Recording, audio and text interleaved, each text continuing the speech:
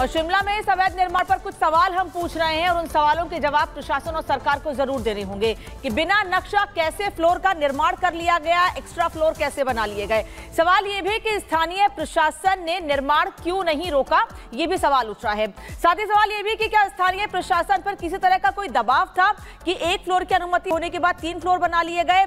दूसरे अवैध निर्माण पर एक्शन, लेकिन मस्जिद पर चुप्पी क्यों साधी जा रही है? ये सवाल वहाँ के लोकल लोग भी पूछ रहे हैं, बल्कि स्थानीय पुलिस अफसरों ने क्या इस पूरे मामले में अनदेखी की है, जिस वजह से एक तल के परमिशन होने के बाद तीन तल बना लिए गए? अवैध निर्माण की फंडिंग का सोर्स क्या है? कहाँ से पैसे आए हैं कि तीन फ्लोर की मस्जिद खड़ी कर ली गई और प्रशासन की अनदेखी होती रही? ये तमाम सवाल हैं जो प्रशासन से पूछे जा रहे हैं। बिल्कुल, इस पूरे मामले को लेकर आप देख रहे हैं कैसे बवाल काफ़ी ज़्यादा बढ़ रहा है। हिमाचल प्रदेश की राजधानी शिमला से इस वक्त कोमल हमारे साथ जुड़ी हुई है। कोमल पहाड़ पर हमेशा शांति होती थी, लेकिन अब लोग दहाड़ रहे हैं और लगातार मांग कर रहे हैं कि कार्रवाई होनी चाहिए। हिंदू संगठनों की तरफ़ से अल्टीमेटम दिया गया है। मुख्यमंत्री को, सरकार को, आज दिन भर में क्या होने वाला है वहाँ पर? बिल्कुल, देखिए, पहाड़ों की बात करें तो हमेशा यहाँ पे शांति देखी जाती थी, लेकिन अवैध निर्माण को लेकर के हिंदुओं की दहाड़ अब सुनी जा रही है। जिस तरह से हम तस्वीरें दिखा रहे हैं कि पहले शिमला के संजौली में, देखिए, अवैध मस्जिद के निर्माण को लेकर के, देखिए, किस तरह से हिंदू संगठन ने दो दिन का अल्टीमेटम दे दिया है, क्योंकि जिस तरह की तस्वीरें हमने दिखाई कि पहले एक फ्लोर बनाया जाता है और उसके बाद बैक टू बैक वहाँ पे चार फ्लोर बना दिया जाता है। साथ ही साथ इसे लेकर के, देखिए, अब कुसुमटी चूँकि अब संजौली में ये मामला सामने आया था, लेकिन इसके बाद अब, देखिए, पूरे हिमाचल प्रदेश की बात करें तो अलग अलग शहर शहरों से। अवैध मस्जिद का जो मामला है, वो सामने आ रहा है। अब ये आग जो है, वो कुसुमटी में भी सुलग रही है और कुसुमटी में भी एक अवैध मस्जिद निर्माण का मामला सामने आया है, लेकिन फ़िलहाल वहाँ पे उस मस्जिद को लोगों ने देखिए काले कपड़े से ढक दिया है। साफ़ तौर पर वहाँ पे हिंदू संगठन विरोध कर रहा है। हिंदू संगठन का कहना है कि दो दिनों का अल्टीमेटम दिया है और संजौली की बात करें, जहाँ पे इस वक्त मैं मौजूद हूँ, इसे लेकर के देखिए अल्टीमेटम दे दिया गया है। यानी कल शनिवार को इस पूरे मामले को लेकर के सुनवाई है। अगर इनका कहना है हिंदू संगठनों का कि अगर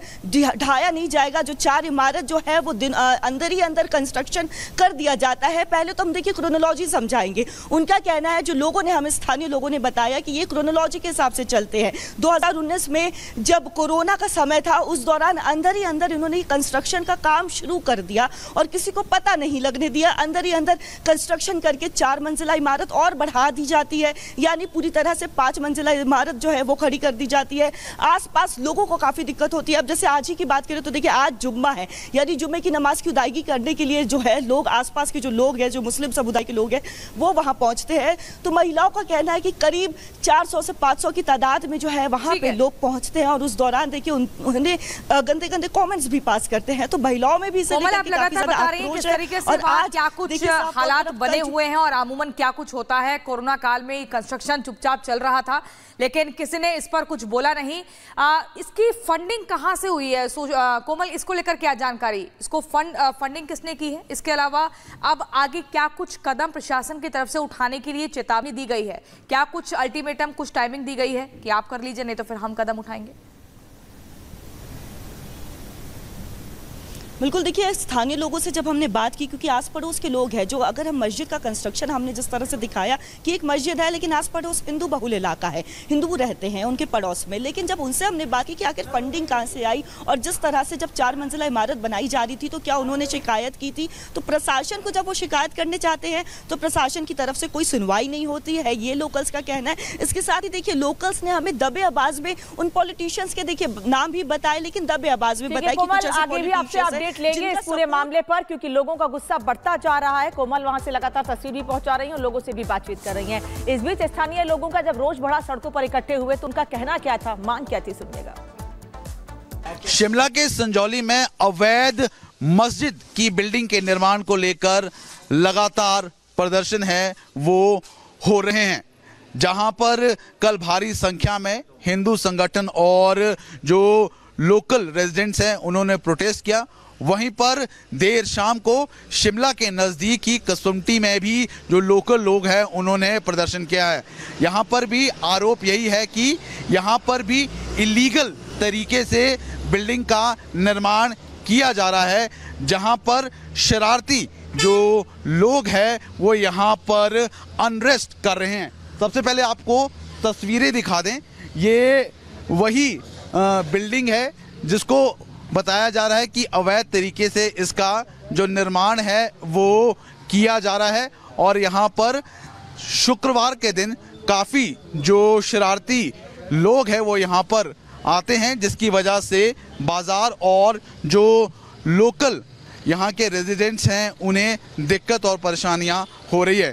फ़िलहाल इस मामले को लेकर कल जब प्रदर्शन किया गया, उसके बाद एक ज्ञापन है, वो एसडीएम कुसुमटी को दिया गया है जाँच के लिए कि ये बिल्डिंग क्या इलीगल तरीके से बन रही है या फिर इसके क्या कागजात है। तमाम चीज़ों को लेकर है जो कागज़ की जाँच पड़ताल है, वो की जा रही है।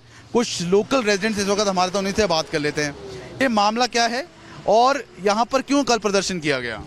ये एक विवादग्रस्त प्रॉपर्टी थी। वक्फ बोर्ड ने जो है मुमताज़ बेगम के नाम से ये लीज पे दी थी। अब ये पता नहीं कि इसमें मालिकाना हक वक्फ बोर्ड का है क्या हिमाचल सरकार का जिस तरह से संजोली वाली मस्जिद का भी आ रहा है कि हिमाचल कब्जा जो है वक्फ बोर्ड का है और मालिक हिमाचल सरकार है।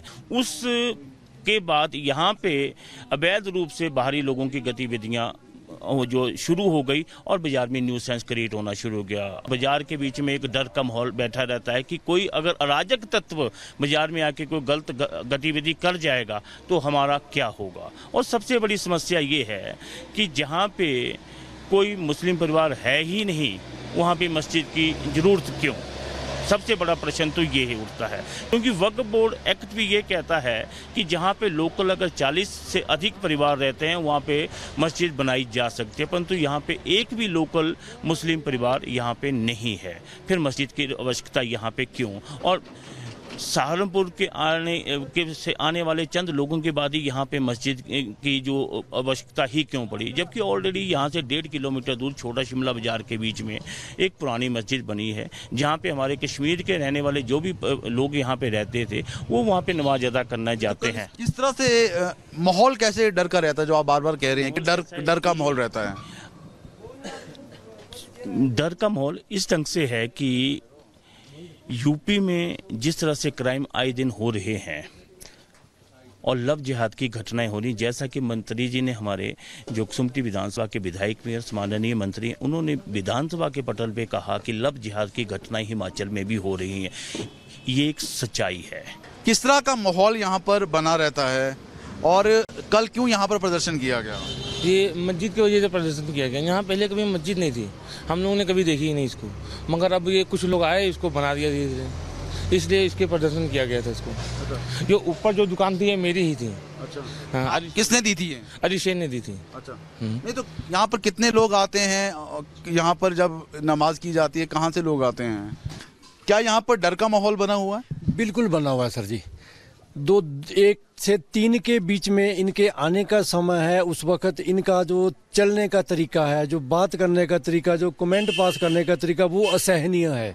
इसलिए गुस्सा आता है कि हम प्रशासन से यही मांग करते हैं कि इनको कम से कम यहाँ से आने से रोक दिया जाए। ये एक अवैध ढांचा, कोई इसी तरह का कोई ये धार्मिक स्थान नहीं है ये। देखिए, सवाल बड़ा है कि हिमाचल में कितने अवैध मस्जिद हैं? और इसी मस्जिद विवाद को लेकर हमारे संवाददाता ने हिमाचल सरकार में मंत्री विक्रमादित्य सिंह से बात की है। वो बातचीत आपको सुनवाते हैं। नहीं, इशू कुछ नहीं है। इशू केवल एक मस्जिद का है, जो यहाँ पर बना है। और अलेज किया जा रहा है कि वो अवैध रूप से बना है। उसका जो मसला है, वो जो हमारा म्यूनसिपल कमिश्नर है, उनके अधीन कोर्ट में चला हुआ है। तो हमने बिल्कुल पूरी मजबूती से सरकार ने कहा है, सरकार का पक्ष हमने विधानसभा में रखा है और हमने कहा है कि लॉ एंड ऑर्डर को मेंटेन करना हमारा दायित्व है, हमारी जिम्मेवारी है और उसके साथ साथ अगर कोई भी स्ट्रक्चर अवैध पाया जाता है तो उस पर नियम के अनुसार कार्रवाई होगी। ये हमने पूरी मजबूती से कहा है तो उस तरीके से हम आगे बढ़ेंगे। हम नहीं चाहते कि कोई भी प्रदेश में माहौल ख़राब हो कोई भी सांप्रदायिक